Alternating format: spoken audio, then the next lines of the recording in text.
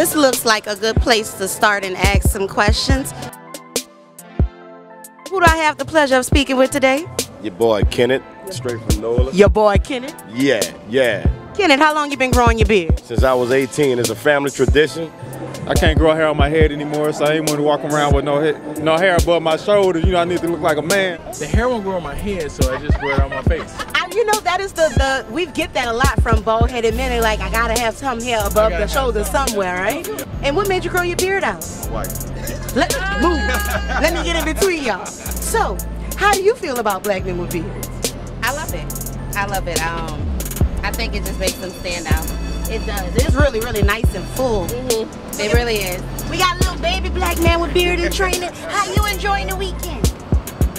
I know. I know, baby. He got a designer beard, y'all. What you said this beard is? Ombre, baby. That ombre beard. Look at that. that blonde fade into that black is nice and glorious. So what made you grow your beard out? Oh shit, more men can't do what I like to do what more men can't do.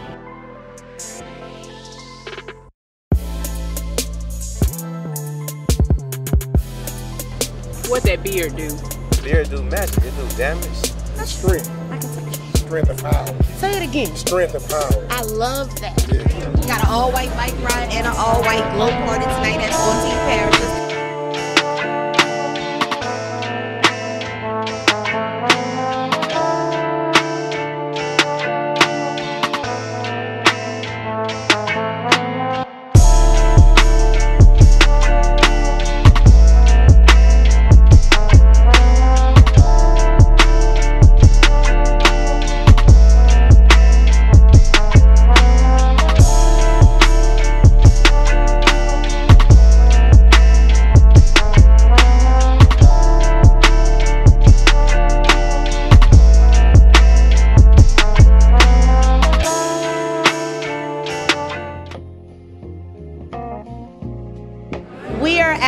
second annual Nola Nobles Dandy Fair um, at the Ace Hotel during Essence Fest weekend on a Sunday. I have here one of our BMWB models, Mr. Darren Harper. How you doing? Yeah, I'm good. How are you? I'm great. So how are you enjoying your Essence Fest? Um, it's good so far. I've been playing it pretty low key, but you know, do a little light music, move around the city. So I want to know what what does the beard mean to you? Um, it means something of significance, you know, something outside of the the material thing. Because if you strip me of everything that's on me right now, I still have my beard, I still have my crown, my hair, my, my image, you know. And I have here some glorious black bearded men. What's your name? Dorian Alexander. And what's your name? Bilal. And you guys are participating in the event? We are, yeah. How long have you been growing your beard? Do you mind me asking? I started mine November 1st of last year. Wow. And it grew out that full. Grows fast. How do you take care of it? Uh, I, I perform what is called a beard luster wash, uh, and what I do is I, I use a low sulfur uh, uh, face wash that lathers up very very easy, and then I dissolve it with a hot steam towel. We have one of the founders of the Black Men with Beards, Miss Erin, coming in. Give it up for her. So excited to be announcing and, and presenting some of the best beards and barbers in New York. I'm excited. Yeah, yeah. This is our Black Santa Claus in New Orleans.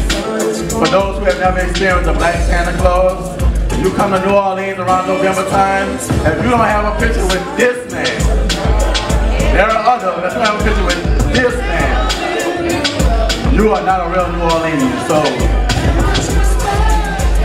we want to honor this man with the very first Nola Noble Award because he has given us the image of a black man that is great, that is courageous. And that's what the whole Nola Nobles was built off, showing images of great black men. This award means a lot to me. You know, 46 years ago when I started, the pride weren't there. But it has grown to astronomical heights now. And it makes me just feel proud to be a part of it, to be there for